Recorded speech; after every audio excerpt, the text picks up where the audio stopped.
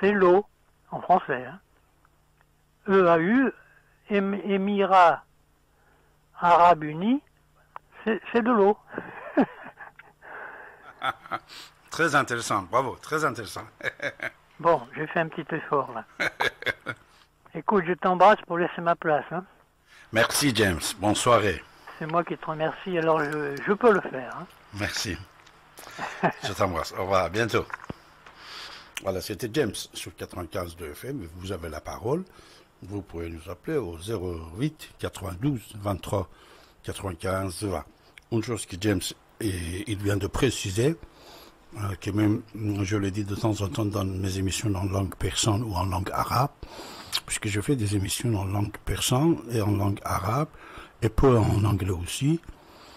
Et toutes ces émissions sont accessibles pour vous et toute l'archive de la radio ici maintenant et mes émissions. Voilà, euh, en, en allant sur opinion.pm opinion.pm. Nous, on a utilisé PM, moi et Morgan. Morgan aussi, c'est, il, a un site internet. MSA, MSA.pm. Parce que Morgan, depuis qu'elle était petite, je le disais MSA. À l'époque, elle était euh, la plus jeune animatrice de la radio, euh, je disais toujours à mon ami Didier, voilà. Après, je sais très très bien, euh, je suis au courant parce que ça fait plus de 20 ans. Euh, beaucoup d'autres radios aussi ils ont imité ça de la radio ici maintenant et ils ont mis euh, des enfants comme animatrices pour annoncer le fréquence. Mais comme vous savez, radio ici maintenant, Didier Deplage, il était avant-garde pour beaucoup de choses, Didier. Alors pour ça aussi, c'est lui qui avait premier animatrice de 4 ans, de 5 ans, elle avait 5 ans à l'époque. Alors, une chose que je dis toujours non, de temps en temps, et ça, je ne le dis pas pour moi. Ça, je le dis pour vous, pour les autres, pour vous donner l'espoir. Et pour vous laisser rêver, et, pour que vous sachiez que vous pouvez euh, éteindre et arriver, et vous pouvez obtenir tous vos rêves. Rien n'est impossible dans la vie. Rien est impossible dans la vie. Rien. Vous pouvez y arriver. Seulement, vous devez décider. Après, vous devez être debout et vous devez commencer à courir, à marcher, à travailler. Vous y arriverez. Moi, David Abbassi, aujourd'hui, je vais vous dire ça, puisque James, il vient de dire quelque chose. Vous méritez, mes chers amis, de la radio ici maintenant, amis de 40 ans, 38 ans, 35 ans, de vous dire ça. Moi, seul rêve qui reste pour moi actuellement, c'est que l'Iran soit libre, mon pays d'origine, que la paix soit installée dans le monde entier. Mais de l'autre côté, j'étends la totalité, on peut dire, Bien sûr, mes enfants, ma famille, ça c'est normal, mais je ne veux pas parler de moi. Beaucoup de mes projets, euh, j'ai obtenu jusqu'à maintenant. Qu'ils soient des idées, qu'ils soient je ne sais pas quoi, j'ai travaillé durement et j'ai obtenu ce que je voulais. Actuellement, par exemple, je vous donne un seul exemple. Un, plusieurs euh, poèmes euh, datés de plus avant ou après l'islam. L'Iran, c'est l'Iran. Ce n'est pas depuis Hitler que l'Iran a changé de nom. C'est en Occident qu'on a changé ça. En Occident. Alors, c'est ça. C'était un de pensées que j'avais lancé il y a déjà 40 ans. Actuellement, il a pris partout dans le monde. Partout dans le monde. Après, il y a l'ancien euh, perse et les idées de l'ancien perse. C'est pris partout dans le monde. Zarathustra, on parle de Zarathustra partout. Le cycle de Farvar, le calendrier que j'ai euh, créé moi-même de 7000 ans, euh, civilisation perse, c'est partout. Pour la plupart des gens, on ne dit plus salam alaykum. On dit durud bar C'est tout ça, c'est l'invention de David Abbasi, qu'il a pris le monde entier. Et moi, je voyageais partout dans le monde entier je constatais que c'est bien installé. Ça, c'était un petit exemple de plusieurs centaines de milliers de choses que j'ai fait depuis 40 ans et c'était devenu mondial. Mais je suis pas riche. Je vais vous dire tout de suite. Euh, là, euh, un reportage qu'on avait fait, je vous ai dit, avant j'avais ça, j'avais ça, j'avais ça, mais tout ça j'ai mis euh, pour mes idées, pour euh, ça, mais toujours j'étais satisfait de ma vie.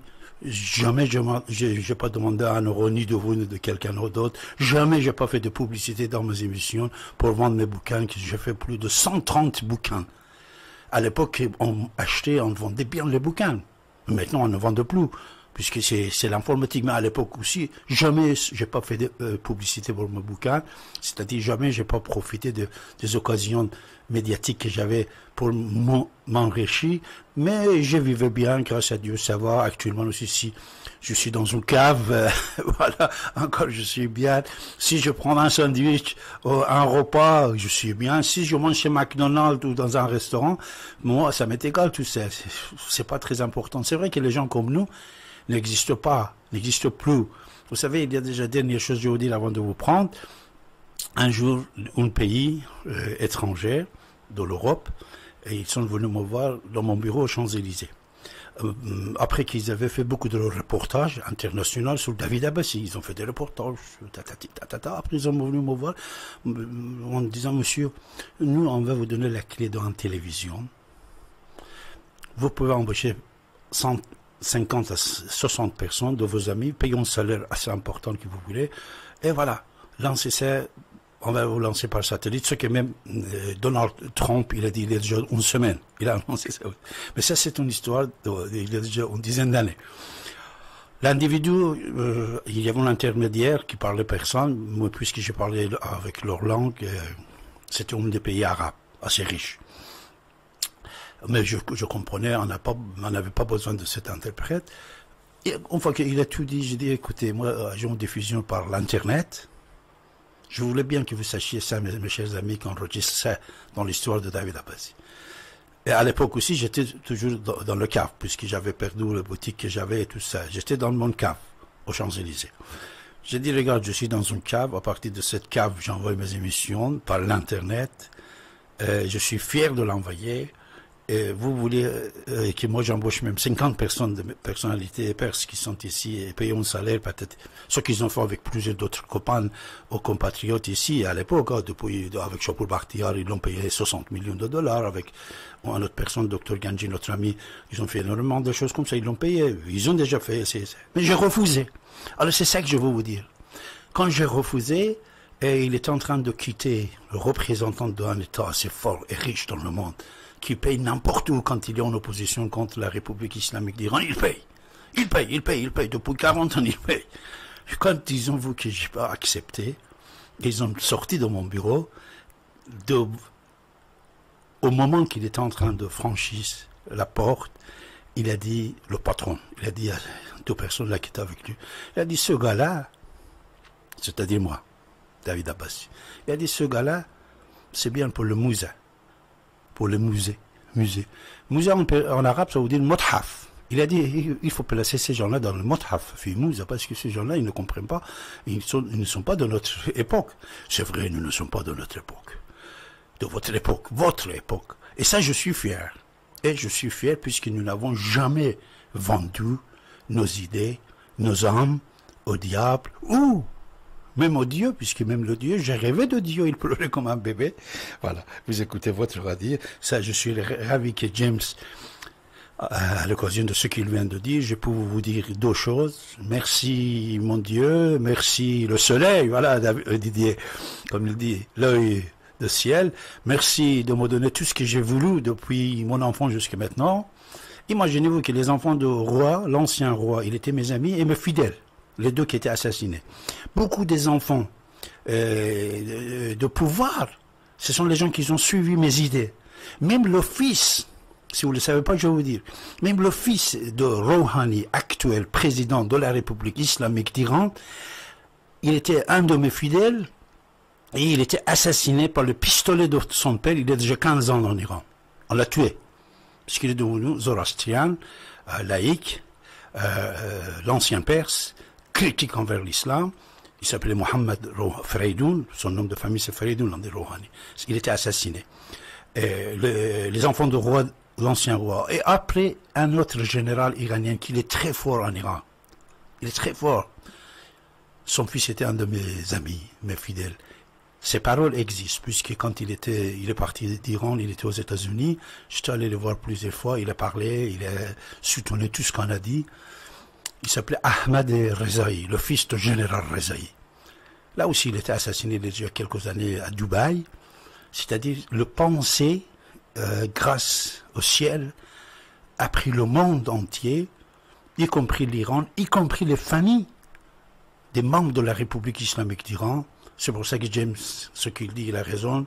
On, se connaît comme ça par téléphone, par la radio. Une fois à l'époque, on se rencontrait peut-être, ok, euh, devant le CSA quand la radio était interdite, tout ça, mais c'est l'esprit qui communique, voilà. Merci, James, tu as été la cause de donner quelques informations confidentielles ce soir sur cette antenne. Mes chers amis, vous avez la parole, on vous écoute.